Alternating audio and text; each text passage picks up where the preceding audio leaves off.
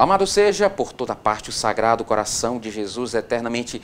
Terça-feira, 3 de janeiro, nós estamos vivenciando esse período pós-natal, ainda impactados, meu irmão, minha irmã, pela grande, extraordinária notícia.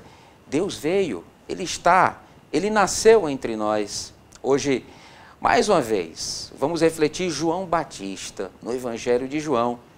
João vê Jesus passar e ele aponta para Jesus, que de fato é a grande meta de todos nós.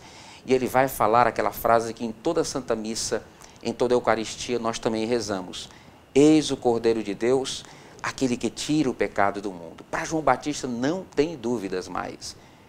O verdadeiro Cordeiro, ele já se encontra em nosso meio. Eu vi e dou testemunho, este é o Filho de Deus diante de tudo aquilo que João viu, ouviu e ele mesmo fez. Ele mesmo batizou Jesus encarnado, Deus vive em nosso meio. Portanto, o seu testemunho, ele sim faz sentido, o seu testemunho é eficaz. Meu irmão, minha irmã, quem dera, não é verdade? Também fizéssemos a mesma coisa que João Batista fez.